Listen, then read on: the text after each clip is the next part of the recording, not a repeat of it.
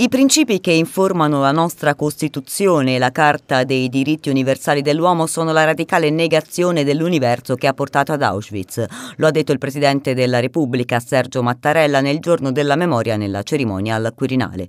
Principi che oggi, ha aggiunto il Capo dello Stato, vediamo minacciati nel mondo da sanguinose guerre di aggressione, da repressioni ottuse ed esecuzioni sommarie, dal riemergere in modo preoccupante dell'antisemitismo, dell'intolleranza, del del razzismo e del negazionismo, che del razzismo è la forma più subdola e insidiosa. Senza memoria non c'è giustizia.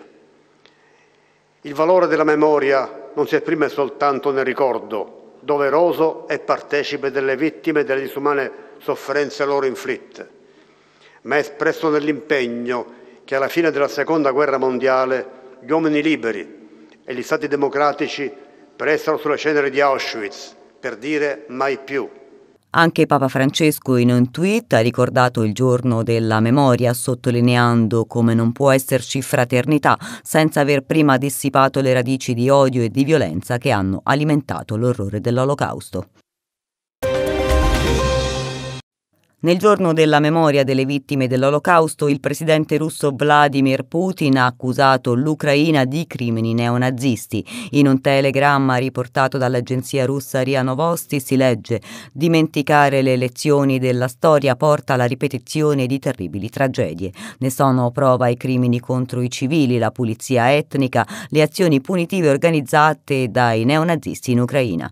È questo male, dice Putin, che i nostri soldati stanno combattendo con coraggio coraggio fianco a fianco.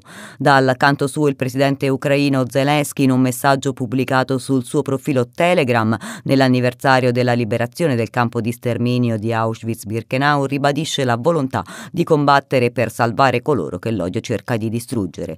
Intanto gli osservatori dell'Agenzia internazionale per l'energia atomica hanno riferito di potenti esplosioni vicino alla centrale nucleare di Zaporizhia, occupata dai russi durante il massiccio attacco missilistico sferrato sferrato ieri dalle forze di Mosca contro l'Ucraina.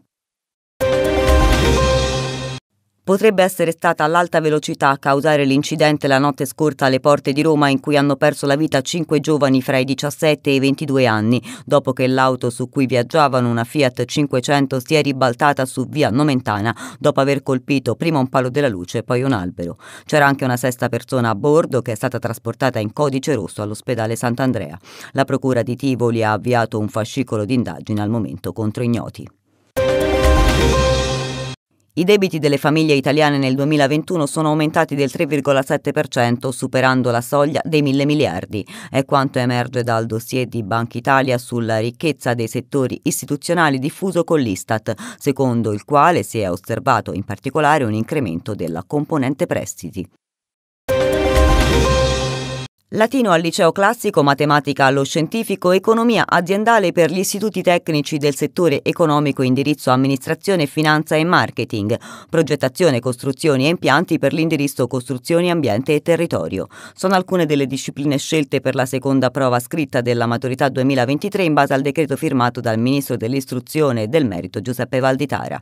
Dopo tre anni scolastici in cui l'esame di Stato ha visto rilevanti modifiche dovute all'emergenza epidemiologica, l'esame conclusivo conclusivo del secondo ciclo di istruzione quest'anno torna a svolgersi con una prima prova scritta di italiano, comune a tutti gli indirizzi di studio che si svolgerà il 21 giugno, una seconda prova scritta riguardante le discipline caratterizzanti i singoli percorsi di studio e il colloquio orale.